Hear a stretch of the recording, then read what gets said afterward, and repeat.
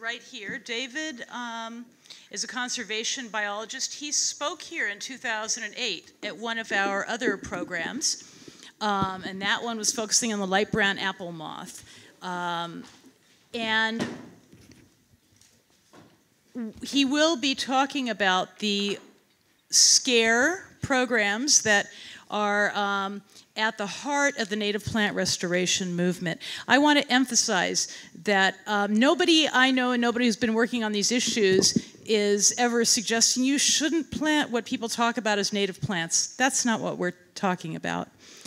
It's that these native plant restoration projects like this, that's what we're, we're looking at, where people are saying take down a healthy ecosystem and replant with something else that, in this case, on Mount Sutro and in the hills here, by the way, would create more fire danger, dramatically more fire danger. So, again, you know, if people want to go all, you know, so-called native, they're going to have to kind of remove, in most cases, almost everything they see around them. Anyhow, acclimation occurs, and we and new ecosystems are created, and that is a, a natural part of ecology. Um, so, David, are you prepared? Well, let's see. Talking about nativity, let's see. I was born in Redwood City. Uh, and being this old, I remember, I mean, like there were cattle grazing in Redwood City when I was a kid. And uh, I remember picking cherries with my parents on El Camino Real in like Sunnyvale. So I've seen the changes around here. And so I'm sad about the orchards going, and now there's nothing but houses, but we've gained so much and all the wonderful people who have moved here. I mean, think about that all the smartest people in the world coming here. So I don't uh, begrudge that a bit. Let's see.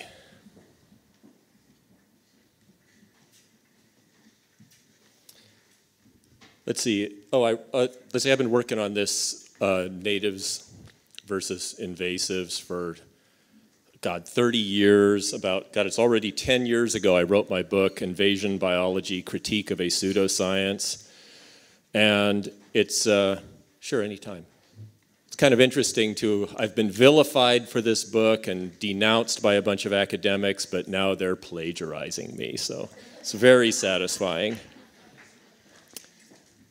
And yeah, you know, I'm really not very good at this because I'm sort of a biology detail geek. So I tend to put way too much detail in my talks. I just hope, I hope you enjoy it. And I want to say that was a great presentation on the eucalyptus. I'm going to be kind of embarrassed when I get to my the, the eucalyptus part of my presentation because that was so much better. And I need bifocals. But other than that, okay. We're ready to go? Okay. Uh, let's see. So that's the title of my talk if you take home just one word from my talk, remember Monsanto. Anytime you hear the term invasive species, think Monsanto. Okay, this is some of the language that's used to uh, describe invasive species. I mean, look at this a cancer on the land, a disease, genetically deviant miscreants, a war on weeds uh, locked in combat with unrelenting armies. They always use these war metaphors. There's another one fighting them is like a war. And again, the cancer of invasion. Uh, you know, I, I, sometimes wonder about these people. How can they use this language? I think perhaps they're they're dizzy from too much circular reasoning. Okay, invasion biology, which is the, uh, what they call the study of invasive species, uh, it stands or falls on this concept of native or alien. So I'll take a few minutes to, uh, uh to, to sort of dismantle that. Let's see, is this moving? Okay, so anyway, what is native? okay, if we look at just the most recent uh, 2% of our life history on this planet, uh, we've had like the, the tropics have uh, advanced all the way up to Greenland. We had palm trees in Greenland. Uh, the elephants reached the Americas. Camels, anteaters, armadillos, and sloths all evolved here in North America. Uh, 13 different stocks in the elephant family came out of Africa and reached uh, North and South America. And uh, bison, I mean, that symbol of Native America is a recent immigrant. Okay, uh, this is Tree of Heaven, which is being killed in California as an invader. It's uh, most recently from Asia.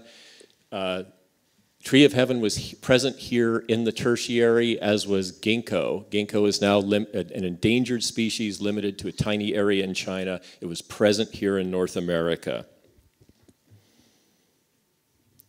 Again, the bison came here just two million years ago.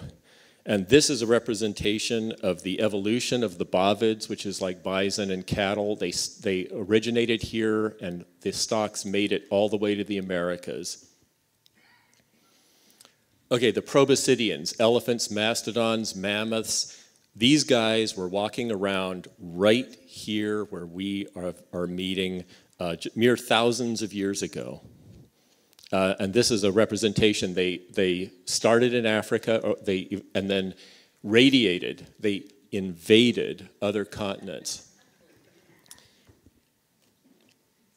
Uh, let's see.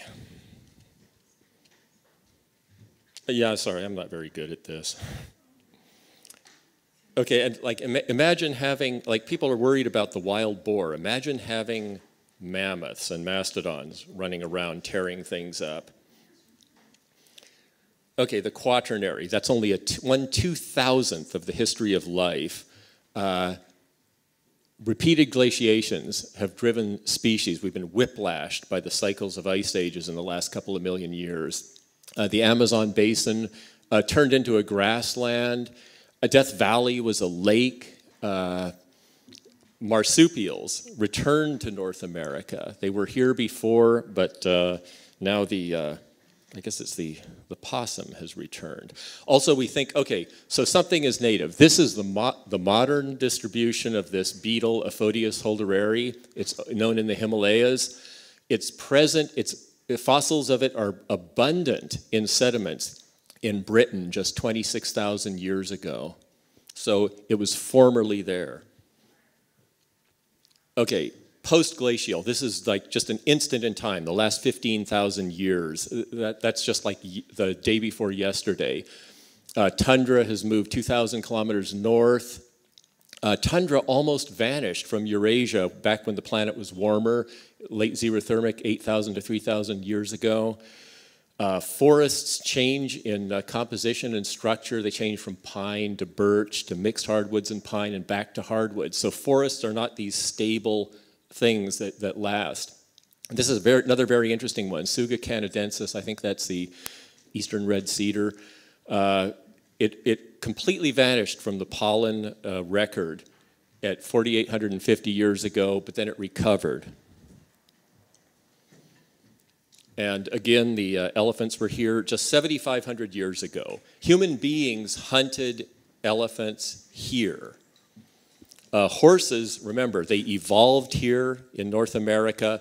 They radiated or invaded other continents and became extinct here and now they've returned when the uh, Spanish brought them back. Uh, they, they're genetically identical. The ones that were present here 6,000 years ago are genetically identical to the ones that are here now. Uh, just technical stuff to satisfy the academics. Uh, these species move back and forth. Like when, okay, the bears, that means they, they moved from one hemisphere to the other and then back again five, four or five times. Uh, camels, that's another group. They evolved here in North America. They radiated to other continents. They became extinct here. If they hadn't invaded South America and uh, the Eastern Hemisphere, that whole ancient group would be extinct. In fact, deer, they, they are, they're another immigrant from uh, Eurasia. Okay, the muskox, uh, it used to be present in Siberia. It became extinct there in prehistoric times.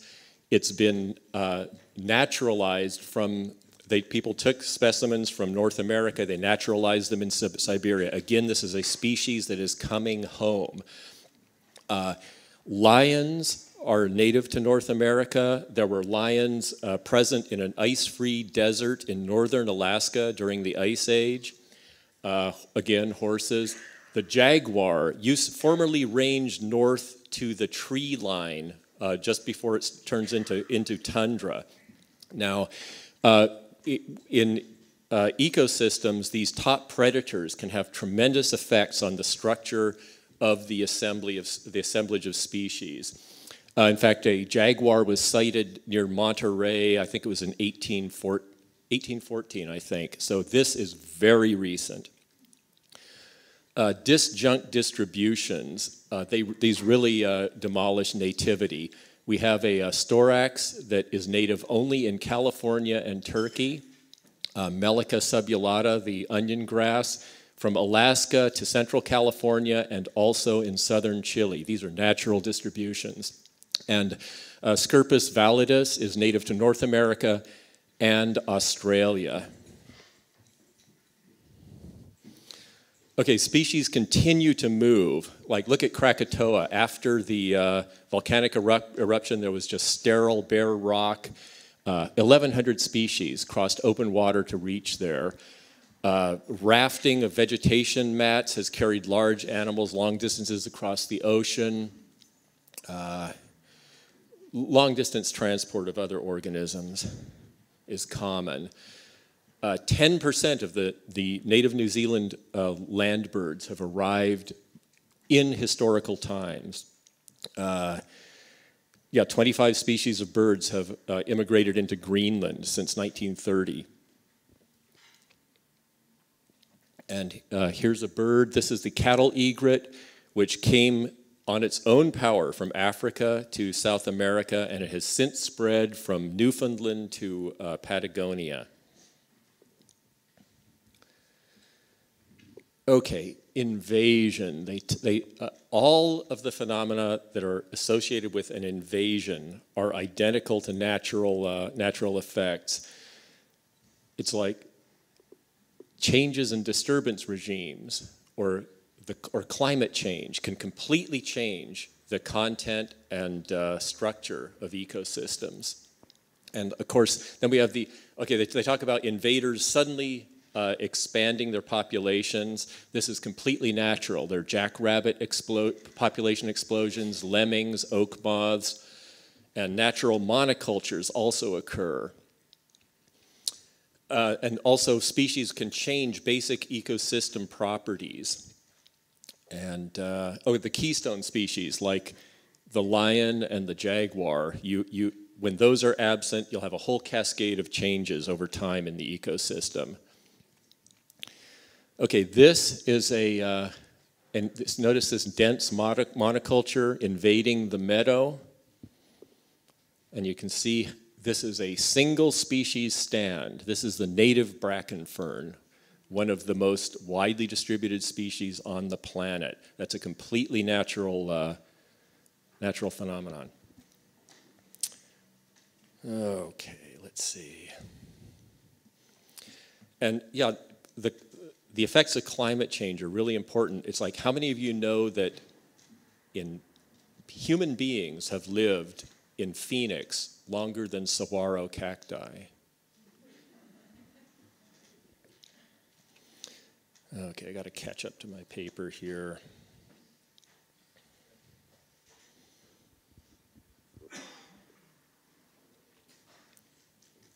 Okay. Uh, also, we have to disabuse ourselves of the notion that uh, our ecosystems they're, they're not these they're not co-evolved tightly knit communities. In fact the idea of a community is actually discredited in, in ecology. They're pro- more properly called assemblages. And in fact all of the species that are characteristic in uh, assemblages today all are present in completely different groups in the fossil fossil record. So it's not like you have you know, people still talk about the, like, you know, the oak community or something. They're not that tightly knit. And uh, let's see. For example, prairie dogs completely change the uh, composition and structure of plant assemblages. Uh, a sea urchin die-off uh, changed, caused a change from open sea to a closed canopy kelp forest, which in turn cha completely changed the fish fauna. And these are all completely natural, natural things. Now, modern ecology, the stability or uh, the balance of nature, that's discredited. Nature is imbalance. Uh, in fact, ecosystems tend to self-organize towards critical states that are subject to catastrophic occurrences, like the buildup of uh, fuel in a forest leading to a catastrophic fire. And it's these catastrophic changes that actually help maintain landscape uh, biological diversity.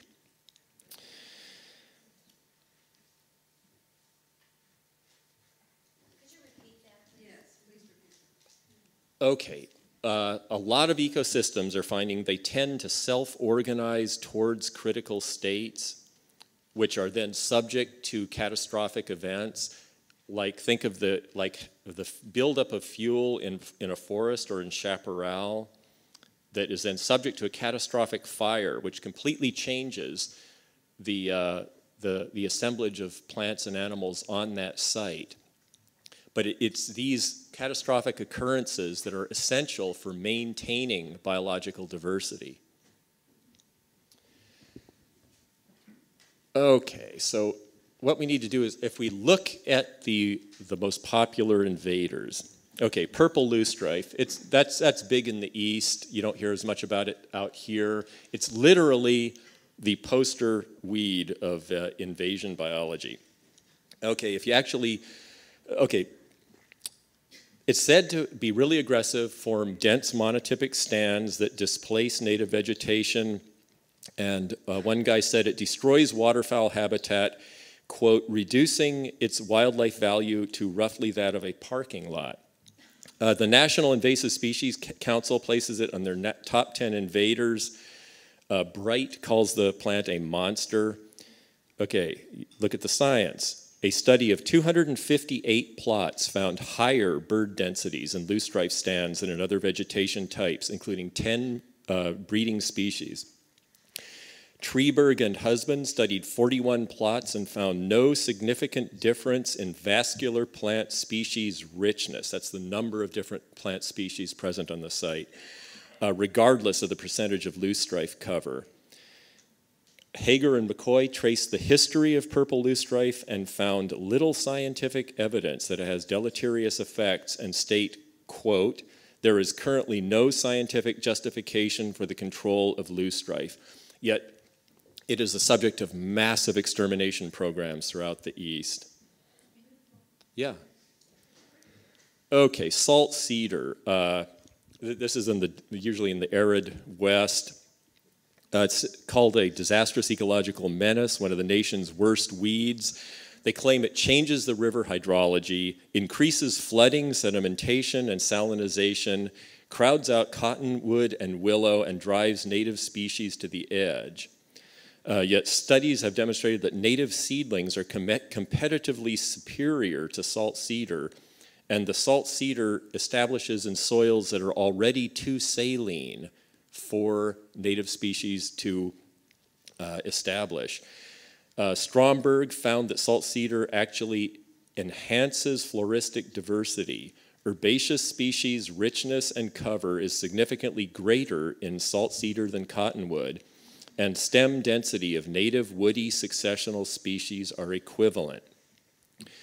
Bertin Anderson, a buddy of mine down in the Colorado, has found that avian species, I shouldn't use these words, bird species richness and density in salt cedar is equivalent to native vegetation, and biomass and diversity of insects in salt cedar stands is comparable to those in cottonwood and willow. And in fact, 90% of the endangered uh, willow flycatcher nest in salt cedar. Uh, 30 years ago, Everitt uh, pointed out that salt cedar is a symptom of the abuse of riparian areas. And he says there is no evidence that it actively displaced native species nor that it played an active role in changing the hydro hydraulic and morphological properties of the ri river. Now, these aren't biased uh, people. I mean, Bertin Anderson, he does restorations, and he told me, hey, you know, I, I love salt cedar, but there's times when I've told a bulldozer driver, see that pretty green? Kill it. But, you know, that's just a site specific thing when he's hired to do that. Okay, eucalyptus, what you all love. Uh, you're, you guys are way ahead of me on this one.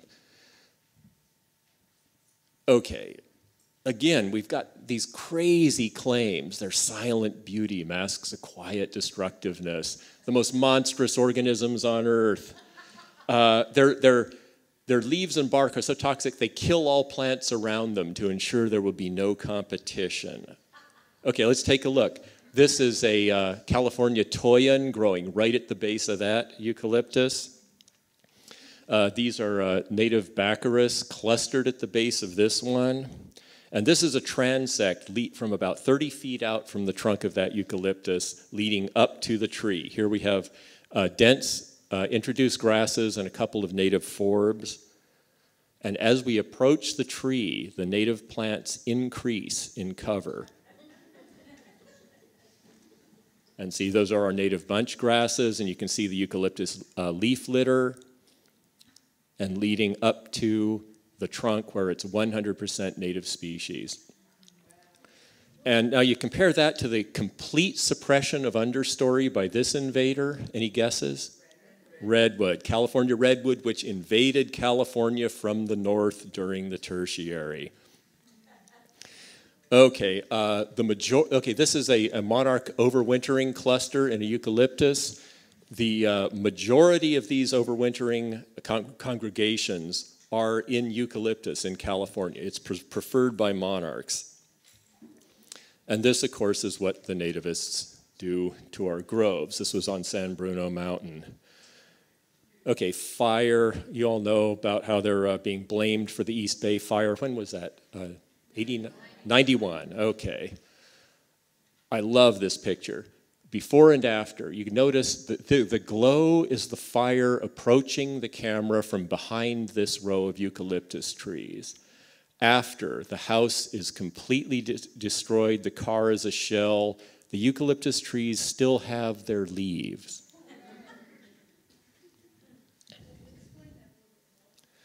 Well, okay, the fire was behind these trees it came towards the camera. It completely destroyed this house, but it, the eucalyptus trees are untouched. They didn't burn. It, it came through the trees. So, uh, I mean, I remember listening on the radio when the, when the fire was happening, and everybody was screaming about eucalyptus, and it, it, it was just nonsense. People love to hate, they love to blame things on people. Oh, yeah, we'll get to that. Uh, okay, yellow star thistle. It's another one that's supposed to be a, a terrible invader. Oh, let's see. Oh, yeah, I even forgot to mention, yeah, 47 species of native birds use eucalyptus. Uh, the understory contains 36 species. Three centimeters of eucalyptus mulch did not inhibit the germination of native species. Uh, they, they, protect, they protect the lion endangered lion tamarin in Brazil. And uh, let's see. Oh, and actually, they claim it sucks water out of the soil. Uh, studies have found that it can take surface water, draw it into the eucalyptus, and uh, push it back out into the soil deeper down uh, from the eucalyptus roots. So it's, it's actually in, increasing the, the soil's water supply. Yeah, it's uh, almost everything you hear about them is just is completely bogus. Okay. Oh yeah, sorry. Yeah, because my, you know. I got, I got right. Yeah, I told you I'm not very good at this. Uh, eucalyptus uh, the surface roots can absorb surface water, water in the surface layers of the soil. They suck it into the tree. The tree transports it down into the subsoil and it secretes it through its, uh, its deeper roots. So it's taking, it's like sequestering water. If the surface water would be subject to evaporation, but the eucalyptus is actually increasing the water in the subsoil because it transports water and uh, puts it. Yeah, yeah, yeah. In fact, if you include the fog drip, the, it's taking uh, moisture out of the air, depositing it on the ground, sucking it up through the surface roots, put and secreting it down uh, deeper in the soil where it'll be available later in the season after the rains have ended.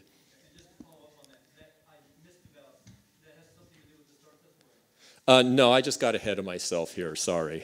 Uh, the trouble is, I really need bifocals so I can see that and my paper.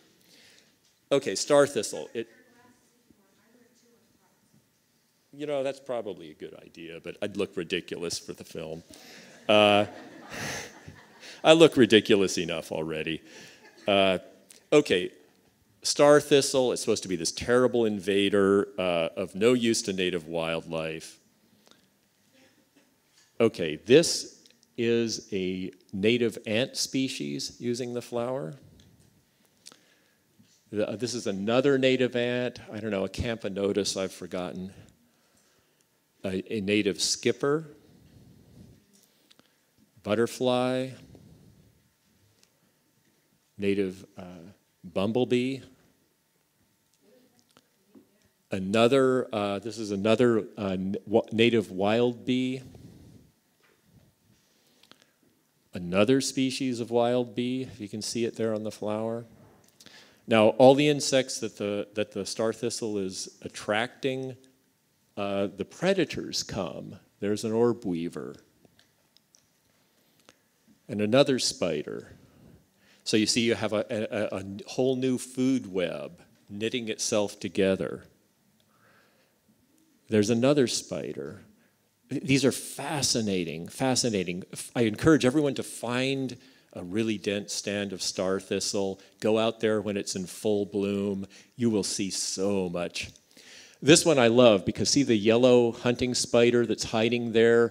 ready to pounce on somebody that, somebody that visits the, the flower. Now, you see, if we didn't know that uh, these organisms are from completely different continents, we would say that this was like co- coevolution because the yellow color of the, the spider is conceal, helping to conceal it. Okay, this is a, a, midden left by one of our native mice, a Peromyscus species. The mice eat the seeds as do the birds, and the birds also use the fluff for their nests. Uh, this is a midden left by uh, one of our rabbits eating the plant. Okay, I like this one. I took this picture in 1999. This is dense star thistle. Notice the barbed wire fence. Now, barbed wire can't stop can't stop thistle seeds, but there's this very sharp ecotone. That indicates that the presence of the thistle is related to past land use on either side of the barbed wire. Barbed wire ecotones are really fascinating. So 10 years later, see, the native shrubs have taken over and expanded. The star thistle has, has retreated to this small patch entirely without any management. Okay, poison hemlock. Okay, I, have been observing this stand for about uh, 36 years. Okay, there's another whole, there's a beautiful food web happening here. Uh, this is, I believe, is an Allograpta fly. There are uh, there's a spider web. There are aphids, plenty of plenty more aphids. Here is a, a uh, native syrphid fly, a native beetle. Okay, the, the okay this in, uh, insect fauna uh, draws birds which feed on it. There's one there. There's one there. It's really hard to take these pictures. Let's see, is this slowing down? Oh, it did change. Okay, uh, something has eaten the leaf. This is a, a leaf that's totally defoliated. Uh, these are the cut off stems that were uh, cut off by our local native wood rat, uh, Neotoma fuscipes. Poison hemlock. Uh, no, nor the, uh, the birds. The birds eat the seeds later in the season. The seeds are the most poisonous part of the plant, and they're totally unharmed by it. Uh, this is a tortricid leaf roller, and there's a lady, ladybug child, and there's plenty of these. This is just the tip of a leaf. Okay, late, various species of ladybugs and ladybug children here. Uh, let's see, this, these are two species of beetle that come to feed on the pollen. There's also a couple of native ant species that feed on the pollen. Let's see, oh, and again, the predators come. This is a, a spider.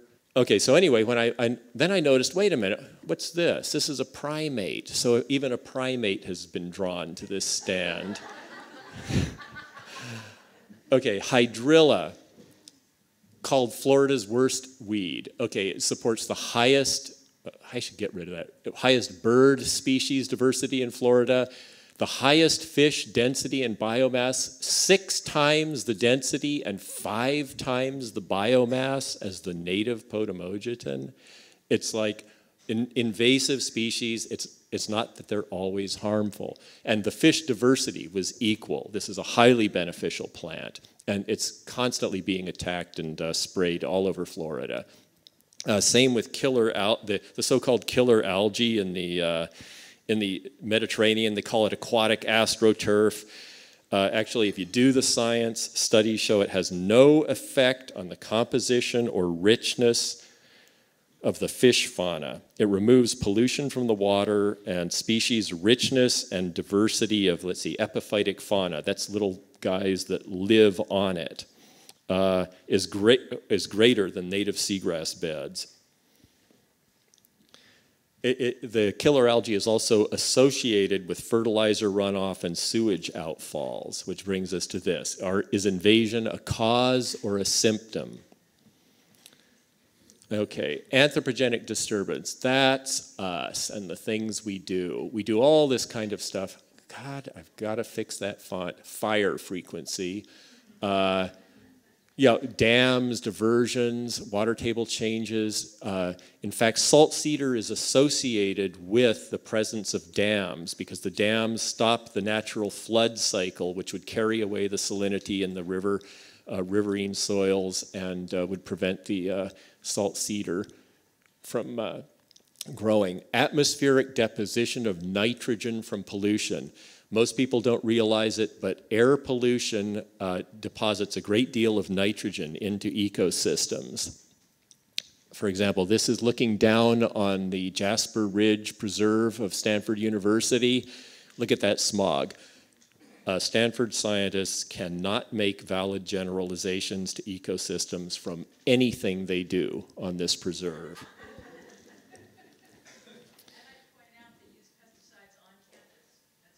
Oh, of, of course. It's like, yeah, pesticides, yeah, they just love to use them. Okay, oh, okay, more, more uh, cause, or symptom. Uh, the, in, the sea lamprey, when it entered the Great Lakes, they claimed that it uh, caused the collapse of the fishery. Uh, actually, the lamprey was present for over a hundred years before the fishery collapsed.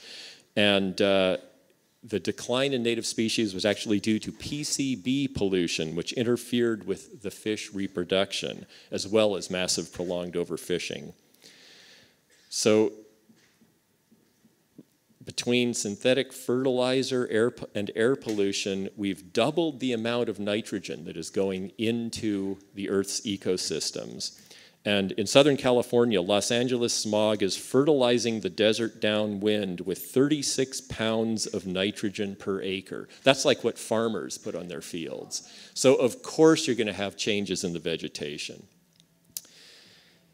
Okay, uh, anthropo- more anthropogenic disturbance, we've covered some of this. Uh, cryptic disturbance is often overlooked. It's, that's like the nitrogen being deposited from smog. You can go out into a pristine area of the desert, there's no roads, there's no people, there's no cattle, but we have cryptic disturbance. Also, displacement of traditional peoples. Okay, this is, this is key uh, because the traditional people's life ways are very important to maintaining biodiversity. Uh, for example, invasion, invasionists claim that recent Australian mammal extinctions are due to the introduced fox, cats, livestock, and rabbits. Yet many of the extinctions occurred in areas that were never reached by introduced species. But these extinctions only happened after the genocidal displacement of the Aboriginal peoples and the loss of the, their, their land management practices. Uh, in the south, our southwest, bird diversity dropped after Indian farmers were forced from the land to create protected parks. In, here in California, there were tremendous changes due to the loss of the uh, Indian land management. They, they burned, they dug, they did all sorts of things. In the Amazon, Indian peoples increase uh, rainforest species diversity. And in Switzerland, traditional grazing practices increase alpine meadow biodiversity. And of course, in Africa, the traditional peoples have maintained the last remaining uh, megafauna on the planet. I, I take this as to so that we should we need to realize we can be good citizens of the planet. You know we're, we're, so used to seeing ourselves only as vandals and destroyers but we can be good citizens